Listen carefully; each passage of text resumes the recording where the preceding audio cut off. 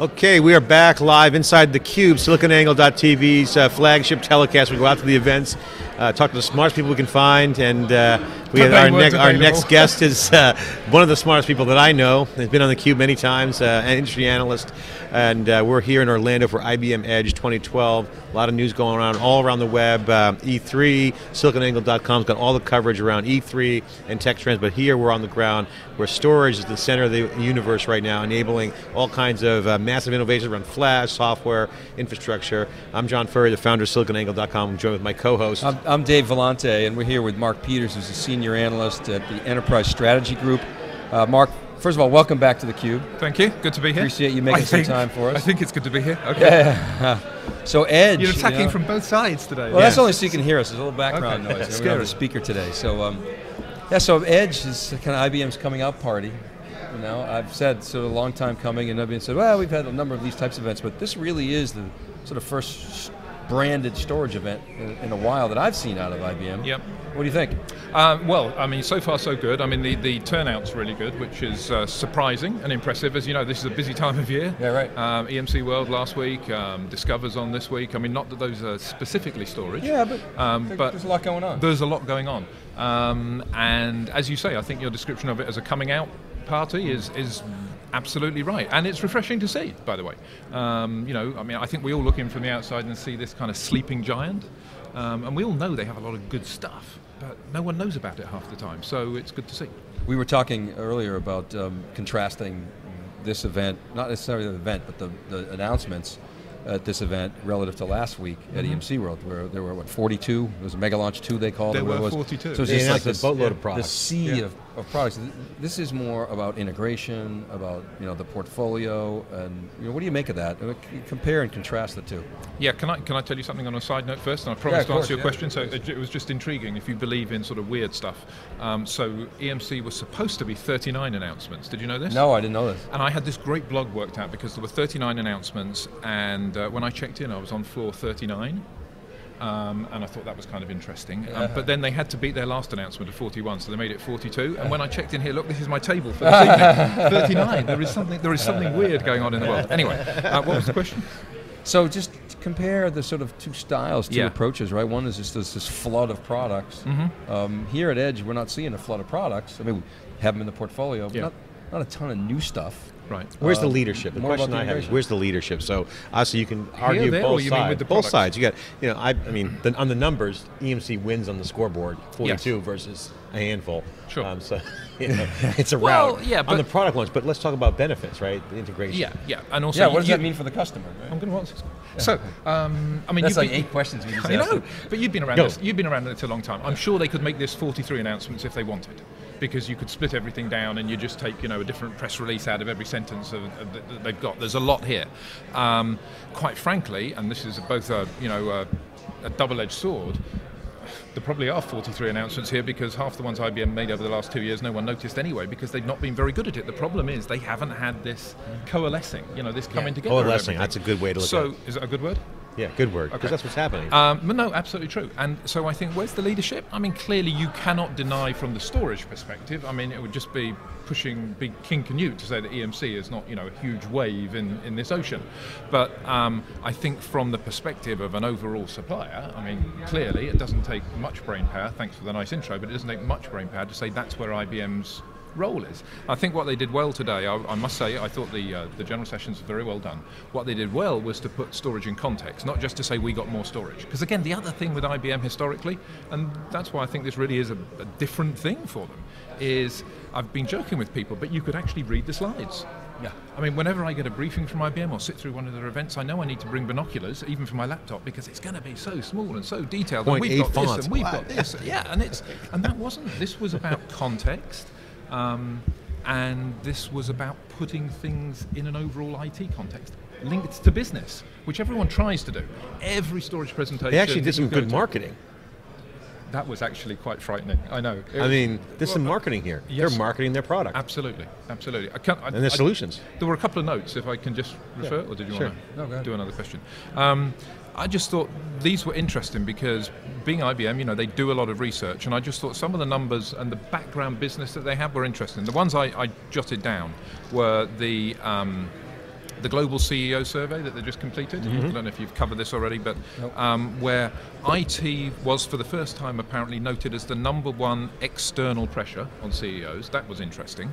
Get this 80% of those CEOs expect more complexity in their environments, yet only less than 50% think they have a plan to solve it. Um, you tie that with things like the other thing, there's an MIT survey that IBM sponsored and, and, and, did with MIT, I presume, where it says that analytically savvy company organizations are 2.2, to be precise, 2.2 times more likely to outperform their peers. So the, two times more likely what? To outperform, outperform their yeah, peers. Yeah, sure. So there are, there are others as well, but the, the point being that unless you can pull all this stuff together, both in a marketing sense, yeah. but what I think they did really well, quite frankly, was you know, we're all used to seeing presentations where, you know, there's the first slide that says, data's growing, the world is complex. Right, I've now got 10 products. They spent a good amount of time explaining why there is a problem. Um, and I guess it's because they have a portfolio of products they can do that because there really isn't any aspect of the problem that they can't say something about or address in some form or fashion. One of the things that um, you know we've been talking a lot about is this whole integrated systems, converged infrastructure, whatever you want to call it um, attacking that labor problem, yes. the IT labor problem.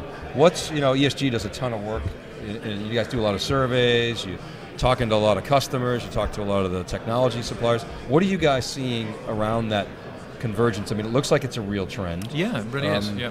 What's your take on that? So first off, for us old guys, that'll be us too. I know you're young, but um, for us old guys, it's it's interesting. Talk about what goes around comes around. Doesn't it strike you as like System 34s and that sort of thing? And uh, x86 you know. mainframe. exactly. I remember, and I'm going to get to your question. There was a great quote years and years ago, in, in when I lived in the UK, um, and it was, you know, the mainframe is dead. Long live the large server. Um, and it's always struck with me because really that's that's what this is about. So to, to answer your question, um, first off, yes, people want simplicity. I think what's in, interesting about IT, we, have talked about it as a utility, or we talk about storage as a utility, um, and people have talked for ages about buying chunks of IT. But it's never really been possible because it was too complex, it didn't really work very well, but we're finally getting there, both from a software and a hardware perspective. Um, and I don't know if it works for you as an analogy, but um, imagine so you're sitting at home somewhere, on the days you get home, and um, you know you're sitting there, you're doing something in Word for the sake of discussion, and then you want to move to Excel or PowerPoint. Imagine having to change to a different laptop to do that. But that's how we run IT. And we've accepted it. Now, some of it I think has been accepted, and there's an important point here. S- some of it has been accepted because the people running it are used to doing it that way, that's how it is, and by the way, that's what their jobs depend on. But I think one of the values, if you like, of the economic stress that we've been suffering is people aren't going to college wishing they could become a storage administrator. Um, they might want to be IT administrators. Howard um, Goldstein would argue with you, by the way. if you know Howard. no. So the question I have trained for storage administrators. So can but we got to sorry, just to finish. But we got to find an economic way to do things, and that means bringing things together and using them all better, which is why virtualization is is um, so popular right now. And they made a comment about storage virtualization accelerating faster than than uh, desk, uh, yeah. server virtualization yeah. when it was in its heyday. Um, the question I have for you as an analyst is that IBM to pull off to pull off this kind of integration um, big data is all about analytics. It's not even in the storage group. So totally like what you said and what IBM is doing about the context of storage because it is an element yes. of the overall solutions that the customers want. Mm-hmm. And they can buy cloud from IBM or other places, but analytics is a different division. Do you think IBM can pull this off? I mean, they're like a battleship. I mean, cross-functionally, different sales teams, different groups. Do you think they could pull that off? And if they, if they do, what's, what, what do they need to uh, accomplish to do that? Um, so, really good question which actually, if you saw the comedian today, that means I have no clue what the answer is. I think the uh, the best answer to that is actually to look at this conference because if you'd asked me six months ago whether they could pull this off, I would say no. Because they're all different units that are actually coming together here. The, mm. the, the, topic might be storage, but you've got the Tivoli people here and you've got the analytics people yeah, here absolutely. and so on. And so and also having a bit of an inside track here, you know, having been talking to them over the last few months yeah. about this, I know the machinations it takes in IBM to get so you can say everything that you, agreed. you can say that they're on, they are doing it. They're walking the talk internally. I, I, I think this is actually yeah, I would, showing that, which is which is kind of an odd thing to say, but I think it really I, is. I think you're making a really good point because they finally storage has taken the lead on pulling these pieces together and showcasing it as part of a storage event, as opposed to sort of tagging on to other people's, you know, the, drafting behind other people's yeah, the, uh, the, activities. The other thing, um, and you probably both know me that I read a lot into small things. I think not just the devil, but I think the delight is in the detail. Um, and so the other thing that's really interesting, um, I, I, don't know if you've had a chance to see many of the main sessions sitting here, but just a couple. There were also statements of direction. Now, Again, we all work around the business, everyone tells you what they're doing in the future, some deliver, some don't. But what was interesting is to get a statement of direction signed off in IBM, oh. it's, it's like the white smoke out of the Vatican. You know, it yeah. takes forever, you don't know if you're going to get it. Um, and so, back to your question, do I think they can do it? the fact they've got any statements of direction at all is in and of itself amazing because IBM doesn't do that. The fact they've got a whole ton which tries to show that smarter uh, storage is actually going to be real and hopefully not just something they do for Orlando and then we all forget about in July. Um, knowing the work it will have taken to get this event and all those announcements together, yeah. that's why I'm kind of drinking the Kool-Aid. We got to talk about Flash before we run out of time. We have because Mark yes. is uh, one of the leading, you know, observers of the Flash space. Again, ESG. You guys do tons of surveys. Um, what are you saying these days about Flash? What are you telling customers? What's going on in the market? Um, okay. Well, you know that old joke about rumours of my death are ex- greatly exaggerated. So Flash has been the other way around, which is, you know, rumours of it being everywhere have been greatly exaggerated. um, well, actually, I should restate that. Rumours of it taking over from disk have been ridiculously exaggerated. Um, we're years away from that, and it will require changes in technology, I think, to happen. But what, what's clear right now is that Flash has definitely gone through that hockey stick of acceptance. People are beginning to understand its value. At the end of the day, it's spend a lot of money here and get a lot of benefit somewhere else. And it's economic benefit as well as performance benefit. In other words, the performance is a means to an end as well as an end in it's itself. a business productivity impact. Absolutely. And that ultimately means that you essentially, because people, lots of people still think it's expensive, which it is, but you spend an, a judicious amount of, for the expensive stuff and you get a huge back end benefit. Now, again, to come back to your question, what are we telling people at the moment? The game has moved. It's no longer about the hardware um, other than the hardware has to be integrated and go into different places and we'll have multiple iterations of it. But what the game about now is orchestration. You heard a little of that here today. You're hearing a lot of it from other organizations as well. In other words, guess what? Comes back to software because so much of IT comes back to software management. Orchestration is the term we're using. You're going to need Flash to be not just SSD down in the system, not just in the storage controller. Some can be in the network. You heard today about it going up into the servers, and somehow we've got to manage all that both within and across applications and servers servers. That's where the game is moving. How far does the price point have to move now to really get that mass adoption? Obviously, the trend lines are right there. It's right in line. Across the board, flashes everywhere, as Ed mm-hmm. Walsh was saying. Um, still, price is a concern yes. on the price point. Where do you see that falling right now? Well, you see, actually, I don't think price is a concern. So, to, if I can hit it that way, yeah, yeah. Um, I think going back to what David and I were just saying, it's if, if you use it judiciously and correctly, you can make that argument already. And I'm not just talking about the all-flash providers who have an argument using deduplication and other methods to get the effective price down. I'm talking about the absolute price when you use it as as a in a systems element, as a small percentage yes. of an overall system, which is why the orchestration matters so much. Yeah, yeah. Um, and again, if I can be the price fallacy as a, as a fallacy right now. The what? Sorry. The prices. That's just not really a big issue. Well, the right other now. thing is, if you look at them, and I don't know where my hands are on the screen, but if you look at the price of both spinning disk and flash, yeah, you, you different people argue it's a bit like watching unemployment or the trend lines. Yeah, you know, they're both heading in the same direction. Not unemployment and the trend lines. Flash, yeah. flash and disk. They're both going to come down over the next couple of years. It's about it's judicious, careful application, and it's about tiering and caching, which is what makes it valuable. Um, I haven't seen anything that says Flash is going to, in any time that we need to worry about the next couple of years, yeah. take over from spinning disk. It's just silly. And if I can just finish that rant on one other thing, we, will stay with this uh, caching use, which is the main use. There are certain specific applications where the performance is what you need, but usually it's just, you know, you add this turbo power to the overall system, and as you say, to get economic business benefits. Yep. But we're going to still continue. This is, I think, a really important point, um, if I may, since I got the mic, um, is that unless and until all storage is either free or the same price, we're going to have a hierarchy of storage. That means, and this is this is the crucial point, we're going to have a hierarchy of solid state as well we're so used to having it on disk that we've forgotten to even think about it. It's just natural. You have this SATA stuff and this SAS stuff and this fiber channel stuff, and some goes faster and some makes cache, and some's down here and we call it nearline. We're going to have that same thing with solid state. Well, if you look at the as well, if you look at the difference between um, the lowest level SSDs out in the storage system and the stuff that gets put up into the uh, servers, it's orders of magnitude, both in terms of price and performance. So we're going to have a range of that as well. So we've seen um, historically, last couple of years. We saw a run on uh, enterprise data warehouse companies like Netezza and Vertica and Greenplum and, and, and Aster Data. And we saw the sort of tier 1.5 guys. I know a lot of people don't like that term, but you know what I'm talking about. The Compellents and the 3PARs, you know, billions of dollars in acquisitions. We saw the XtremIO acquisition, I guess it was announced uh, last week or the A couple of week weeks, before. yeah. Last week. We had Rich Napolitano on. He said, "Ah, we didn't announce a number, but the you know the whisper number is 300, 340, whatever Yeah, it is. yeah, it was a yeah. substantial number for a company that didn't have a product to market yet. Mm-hmm. So, would you expect a similar run on flash companies? Maybe you could talk about that a little bit.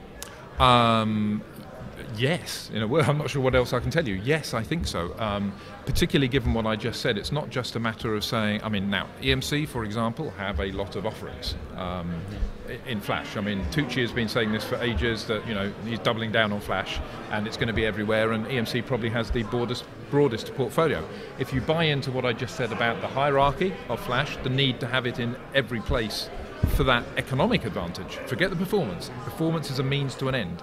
All storage is about economics, whatever else we like to tell you, tell each other. And you said earlier it's all about the software. It's all about software, but just to finish the point I was making, so um, what this means is that just because you see other vendors, big vendors, with one or two offerings, doesn't mean to say they have a complete flash offering from soup to nuts. And I think that's why we'll see more buyouts over the, the coming months and years, yeah. So, um, do you think that was a, a, a, a low price? Like the I, think of IBM and XIV. Let's say it was 300 million, right? And then you saw Compellent and you know go for a billion, 3PAR go for 2.4. Yeah. Isilon go for two billion. Do you think we're going to see like massive valuations, or do you think it's going to be sort of trial and error? Yeah, this this will sound very odd, and I'm sure there are all CFOs in lots of companies watching this who will hate my answer. I don't think valuations are based on value when it comes to these purchases. Uh, a lot of it is strategic. We need that before someone else gets it. We need it to complete our portfolio. And and the thing for XtremIO particularly is I'm not sure publicly we all yet really know what's there. We know what has been stated publicly, um, but I suspect there's rather more to the purchase than just the all-flash Yeah. So the question is, given your scenario that you know the, the demise of spinning disk has largely been exaggerated, Yes. um, reconcile that with the economic impact. So is this is this largely incremental? In other words, can it command the valuations without taking on the fifty billion dollar spinning disk business mm-hmm. because of that incremental economic value, or does it have to eat into that disk and it's going to take longer than many people think? Um, well, so there's, there's two parts to the answer. The first is that it's incremental in the sense that you only need to sprinkle in a few percent to have a big difference. So I think it certainly drives down, and we've many of us have spoken about this for a long time. It certainly drives down the um, the likelihood of you know 15k fiber channel being out there for very long, and ultimately SAS as well, um, because y- y- you know it's like putting some wonder liquid in your gas that suddenly turns your car into you know faster and does 100 miles to the gallon um, and so you're going to buy that as long as the price is not too ridiculous. Um, can it continue to command extra? Absolutely for that very reason because it has that economic benefit. And the other point to, to your question is that again you don't have to attend many of these conferences or see what many of us do. I don't know whether storage capacity demand is chicken or egg. Do you? No, you're right. I mean, all I know is it's elastic. It's elastic and exactly. So if we can make the whole thing more economic by spending money on expensive stuff called solid state, Yeah. then actually we might grow the overall demand for storage because now we'll all want not just pictures on No, our that's a great phones, we'll need 3D video on Yeah, our phones, or which we- whatever else is next that we haven't thought of. yeah. Um, I I had a great little side story, but I won't take you there. Okay. Oh, okay, I will if I've got Go time. No, Yeah, no, no, it's just, it. it's just great. We all have that. that They're not that- doing jumping jacks yet. you, we all have that great story from when we were young and you know selling this stuff and i remember i wasn't that young but you know back in the 80s i was selling to um, to a bank in north london swept their floor um, actually of ibm that's convenient for the conference and uh, replaced it with something else doesn't really matter but the long story short um, and you're thinking it's long already, was that this equipment, mid 80s, it's not that long ago, we had to close the street, crane it in on a Saturday morning. It was all very exciting. It was 10 gigabytes. And, and like a million bucks. Big deal, right? And I was out the other day, um, you know, SanDisk. They they had something the size of my fingernail, which is 64 gig. And yet people will go into Costco or wherever they go to buy their card for their camera, and they'll say it's too expensive, it's not big enough, I can't fit all my video on there. So to your point about elasticity, it isn't going anywhere anytime We're soon. running out of storage capacity So- all the time. In the So cube. to um, Exactly. to get your perspective on, Dave asked a couple questions earlier to some of the guests at IBM, and I, I- one of them, I forget who it was, um, didn't get the answer or question, but you, you alluded to the fact that services revenue around the consultants is going to be big uh, around big data and with flash and storage evolving. Do you have any perspective on how you see the channel partners emerging from these from these solution sets? Because we always compare the client server, talk about going back to the old days, but Yeah. you know, back in the late 80s, early 90s, you know, HP servers, and you know, all the server vendors were making a killing, Yeah. but yet the guys deploying the ERPs and the software packages were making even more money. Right. So huge boom in the management consulting, back in the Deloitte and Touche, the Accenture's of the world, or I think it was Andersen Consulting back in the day. But remember those days it was glory days. People were making a lot of money. So we kind of compare that now. Do you see that same I, I think robustness or frothiness? um, No? Is robust and frothy the same? But no. anyway, I mean, one's I- healthy, one's know. Oh, that's what. That's why. That's why I'm checking. I'm not sure. Well, whichever one's the I good say one. robust is, is good. It also- Frothy is depends how you you know. Well, it also depends. it, it also depends which side you're looking from, doesn't it? But yeah, anyway, I mean, um, it's certainly bubbly right now, but no one's. I don't see people walking in and saying, "Hey, I got your cloud for you in a box." The channel partners are not really. It's not turnkey. I mean, EMC nailed it with, with VSPEX with that. Right, But- right. I, I think we are going to head in that direction. I think the as we become more commoditized, as we get down to um, more in a box. What are you smiling at now? The camera, Oh, okay. because it's a good answer. This is I like a, the answer. is a tr- well, no, it's not. It's, a, it's, It's the a good right an- answer. it's the right answer, There was, a, there was a great quote from the gentleman, I can't remember, the Rochester Medical. He said something about infrastructure is the new ringtone. I just thought that was a really good quote. But, um, so if I find him, thank you very much, sir. But um, there is definitely a propensity and a desire by users, coalesce and propensity, two good Yeah. words, but to, to buy IT in chunks. I think, again, um, not to be too ageist, but those of us who grew up in the, um, the fighting world of plug compatible manufacturers and, and hey, do I buy this disc or that disc? Users don't care. Again, the gentleman from Germany, the customer was talking on the stage, he was wonderful. He said, I love hardware, I love software. And then he said, No, I don't really, I just care about what it does for me. and that's true. That's a real user speaking. Yeah. No one really wants to spend ages deciding which storage system to Does it work? Does it meet the requirements? Absolutely. And although we all spend our lives, you know, talking about the intricacies of it, the importance is what it does for a business. Well, I mean, I'm smiling mainly because you know, cloud is you know, can be viewed as a word about outsourcing. You're renting. Sure. You're basically renting. Sure. You know? So with that comes services, and and, Yeah. and I just we just we're just tracking. We're trying to get the state of the market.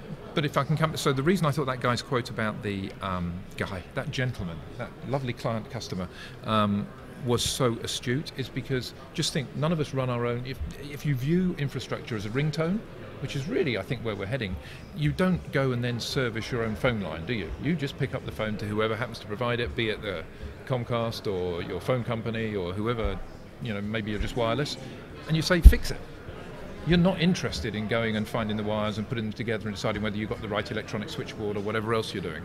Um, it's just a ringtone. I just expect it to be there. And, you know, it looks to me very much, it's not going to happen instantly, of course, it's not going to happen in the next five years, but we, we certainly seem to be in a decade, decade or two of moving towards IT as a ringtone. Okay, Mark, thanks for coming on the Cube. Really appreciate it. Great to see you again. Um, great commentary from an analyst who's covering both EMC and IBM and all the top guys in storage. Uh, thanks for your perspective, and uh, we're looking forward to having you on again. Uh, this is theCUBE. We'll be right back with our next guest after this short break.